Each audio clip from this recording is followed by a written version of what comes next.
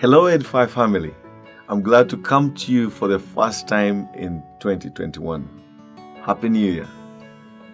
In this new year, my first story is inspired by random thoughts in the secret place of the altar of sanctification, basically meaning the shower room. My mind tends to go into overdrive with thoughts. This pattern of thought came to me in, in December 2020. However, with too much to do, I penned a sketch and now could just be the best timing to broadcast it. Today, I will talk to you about choices. Every day brings new choices. For some, who would like to steer clear of controversy, they think absconding from making choices saves the day. Not making a choice between two options, however, is just a third option, but it is also a choice. Life is all about making choices.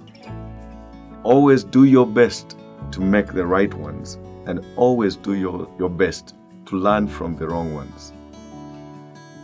Author John C. Maxwell says, Life is a matter of choices, and every choice you make makes you. You are a reflection of the choices you have made. Individuals, families, organizations, and nations are a reflection of the choices they make. If you want a different result, make a different choice. Your life is a result of the choices you make. If you don't like your life, it is time to start making better choices. Every morning, you have two choices continue to sleep with your dreams or wake up and chase your dreams. The choice is yours.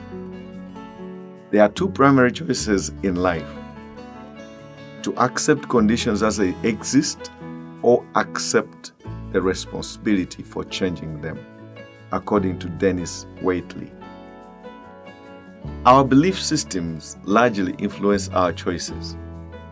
In Christianity, the sovereign God, too, allows His creation to choose. Beliefs are choices. First, you choose your beliefs, then your beliefs affect your choices, according to Roy T. Bennett. In Deuteronomy chapter 30, verse 19, for example, we read, I call heaven and earth to witness against you today that I have set before you life and death, blessing and curse.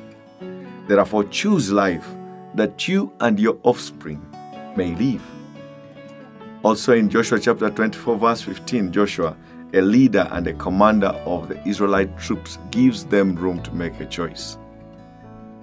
He says, Choose this day whom you will serve, whether the gods your fathers served in the region beyond the river or the gods of the Amorites in whose land you dwell. But as for me and my house, we will serve the Lord. Doing life is like being exposed to a stimulus. You cannot control how others live their lives, behave toward you, what they say or do, but you can always choose how you respond. It is your choices and decisions that determine how far you go in life.